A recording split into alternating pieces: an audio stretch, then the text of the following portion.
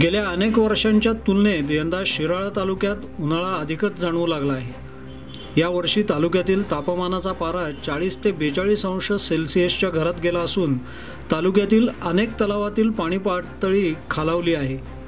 तर चौतीस पूर्णांक चाळीस टी एम सी पाणी साठवण क्षमता असणाऱ्या चांदोली धरणात पूर्णांक त्र्याऐंशी टी एम सी म्हणजे धरणात एकवीस पूर्णांक एक्केचाळीस टक्के एवढाच पाणीसाठा शिल्लक आहे. अशातच वारणा धरणातून कालव्यामार्फत शेतीसाठी सोडण्यात येणारे पाणी कालव्यांच्या दुरावस्थेमुळे वाया जात आहे.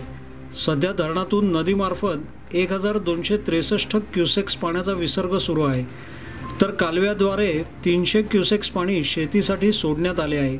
सहा मे रोजी धरणात सहा मे रोजी धरणात पाच पूर्णांक त्र्याऐंशी टी एम सी पाणीसाठा शिल्लक आहे.